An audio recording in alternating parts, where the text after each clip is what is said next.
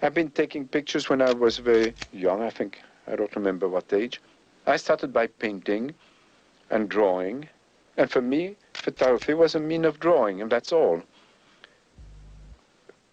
Immediate sketch, done with intuition, and you can't correct it. If you have to correct it, it's the next picture. Life is very fluid. Well, um, sometimes the pictures disappeared, and there's nothing you can do. You can't tell the person, oh, please smile again, do that gesture again.